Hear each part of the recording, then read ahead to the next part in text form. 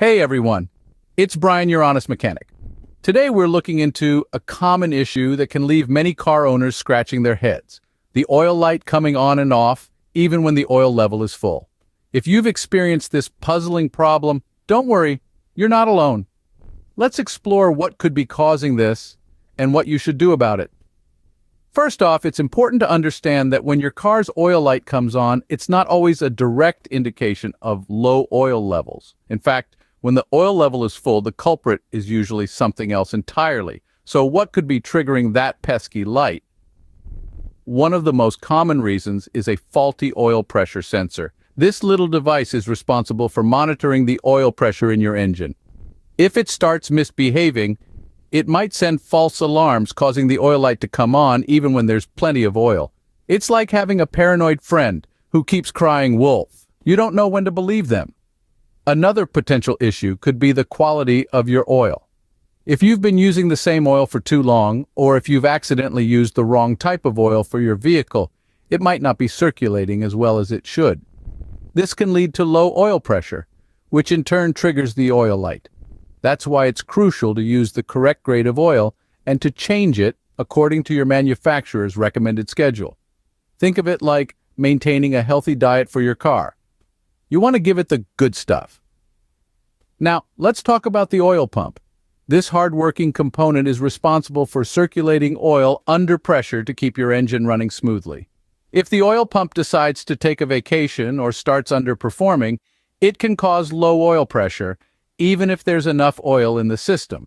Moving on, we have the oil filter. This filter works tirelessly to remove contaminants from your oil, keeping it clean and healthy.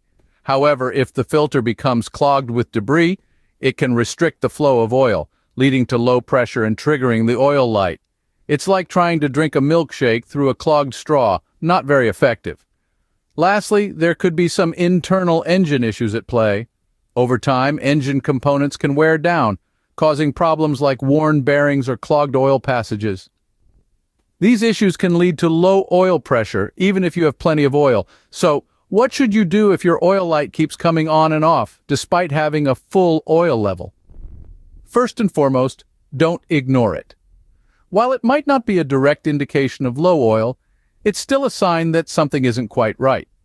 The best course of action is to roll up your sleeves and do some investigating yourself. Start by checking the oil pressure sensor. This little guy is usually located near the oil filter or on the engine block. With your car turned off, disconnect the sensor and give it a good visual inspection. If it looks damaged or covered in gunk, it might be time for a replacement. You can find a new sensor at your local auto parts store, and it's usually a straightforward install. If the sensor looks fine, move on to inspecting the oil quality. If it's been a while since your last oil change, or if you suspect you might have used the wrong type of oil, it's time for a refresh. Drain the old oil, replace the oil filter, and fill it up with the manufacturer recommended grade. This simple step can often solve the issue and keep your oil light from playing peekaboo. Next, take a look at the oil pump. This one's a bit trickier to access, but if you're feeling confident, you can remove it and check for any signs of wear or damage. If it looks like it's seen better days, a replacement might be in order. However, if you're not comfortable tackling this yourself, it's time to call in the pros.